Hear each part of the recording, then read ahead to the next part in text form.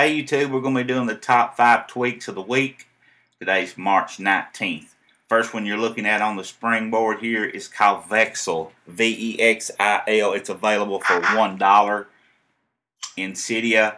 And what it does is it allows you to change a multitude of different things on your springboard. This thing is off the hook. If you want to change up the way your lock screen looks, this is definitely the way to go. Uh, you can change anything on the top bar. You can add animations to your uh, sliders and as they come in the banners. You can put it on any of those different animations. Uh, you can change the color. You can see now we got it on a pink. Let's change it to a gold so you see what that looks like. You can change the position of the time. Uh, actually, I don't think I have the time turned on right now, but if it were on, it would be center, top, let's say left. Um, you can change font, you can change the size by scrolling it to the right, and time text, you can change it instead of the time, you can put it whatever you want it to say, like I had hello YouTube in there. Um, you can change the position of the date. All that can be changed right on the fly without any type of uh, respring or anything like that and you can see you can also change something down here in the slider. That's Vexil next one is instant camera. This is by far one of the best tweaks I think that's been released in a while especially if you are a photographer with your iPhone and you enjoy taking a lot of pictures or video. You can actually set up an activator with this to open your camera however you see fit. I simply have mine set to triple press the home button and you see the camera pops right open. And you can actually just flip the the uh, video on that way if you wish.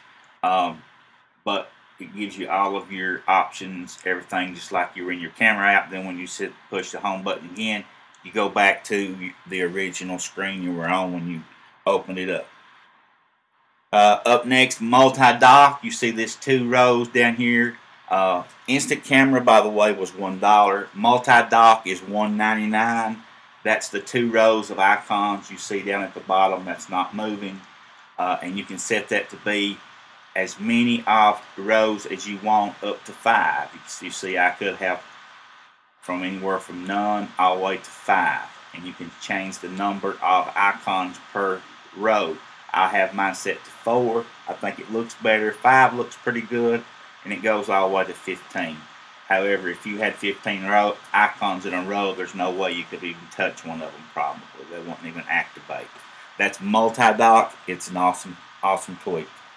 One of my all-time favorite tweaks that we just released this week is called Tap to Widgets.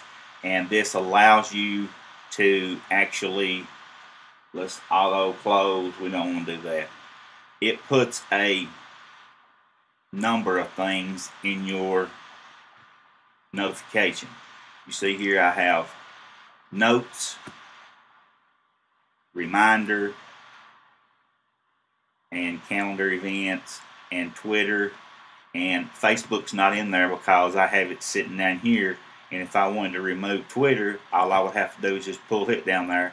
And now you see I just have the three um, notes, add the notes, reminders, and calendar up here at the top. And you can put them in any kind of order that you want. You just simply drag them and drop them anywhere with your finger right here.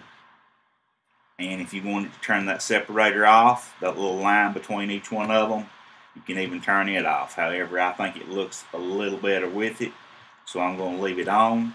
And this is called Tap to Widgets. And if you have like uh, lock info or um, dashboard X installed. You can actually install these uh, widgets on your home screen or on your uh, or any other place where you can tap and hold. You know what I'm talking about? You can install it like that too. Today we're going to be looking at a new tweak by Jay Freeman the guy that created Cydia called Sci U.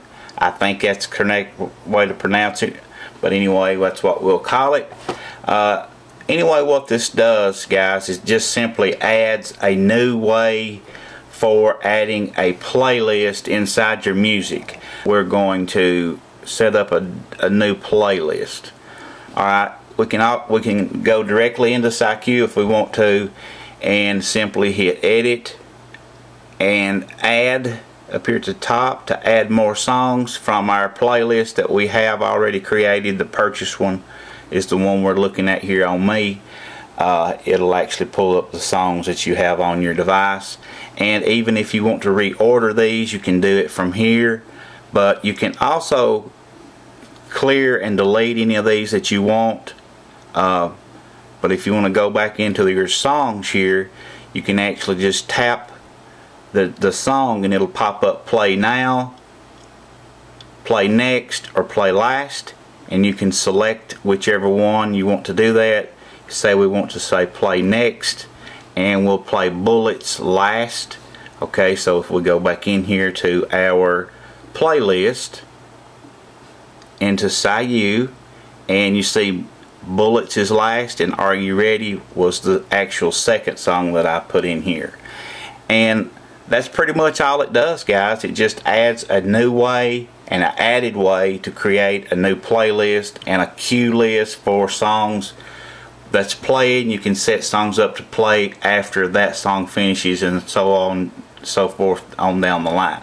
So if you think you can use this it's 249 in the uh, I think it's the Big Boss repo. Uh, you can grab it over there. And that's all. If you think you like these type videos, please hit that subscribe button before you leave. It really helps the channel and keep coming back.